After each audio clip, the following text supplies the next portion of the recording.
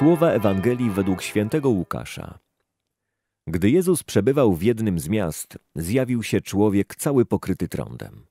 Gdy ujrzał Jezusa, upadł na twarz i prosił go: Panie, jeśli chcesz, możesz mnie oczyścić.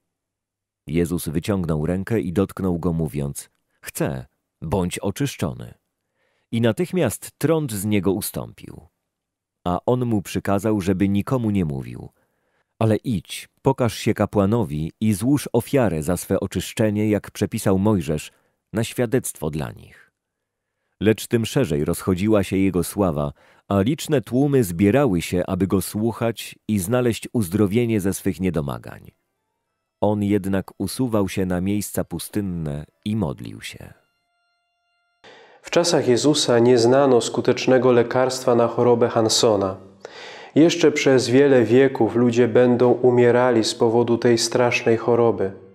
W naszych czasach liczba zarażonych z roku na rok na szczęście maleje. Znamy lekarstwa, które skutecznie zatrzymują chorobę, a ich bezpłatną dystrybucją zajmuje się Światowa Organizacja Zdrowia. Trąd pozostawia jednak swoje ślady na całe życie.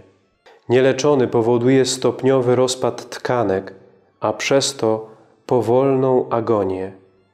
Chory umiera w samotności. Chorzy w czasach Jezusa mogli liczyć wyłącznie na łaskę Boga. Przypadki uzdrowienia zdarzały się, ale niezwykle rzadko. Każde uzdrowienie poczytywane było jako wydarzenie cudowne. Cud z dzisiejszej Ewangelii ukazuje nam Jezusa jako prawdziwego Boga, mającego pełną władzę nad ludzkim życiem i zdrowiem. Chcę, bądź uzdrowiony, mówi Jezus do trędowatego. Bóg nie chce naszego cierpienia.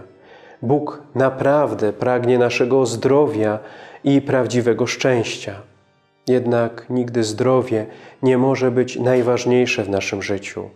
Jeśli zdrowie staje się numerem pierwszym, stając się swego rodzaju bożkiem, to jesteśmy na przegranej pozycji. Nic nie może zajmować miejsca Boga. Tylko On musi być numerem pierwszym w naszym życiu. Jedynie Jemu musi być wszystko inne podporządkowane. Największym pragnieniem Boga jest nasze zbawienie i głęboka wspólnota z Nim. Choroba może stać się błogosławieństwem wtedy, gdy zmusza nas do przewartościowania naszego życia i poddania się woli wszechmogącego Boga. Nie wiemy, czy gdyby nie choroba, tamten człowiek w ogóle przyszedłby do Chrystusa.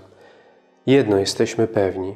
Choroba wielu ludzi zbliżyła do Boga, stając się powodem ich nawrócenia i narzędziem do osiągnięcia zbawienia a to przecież najważniejsze.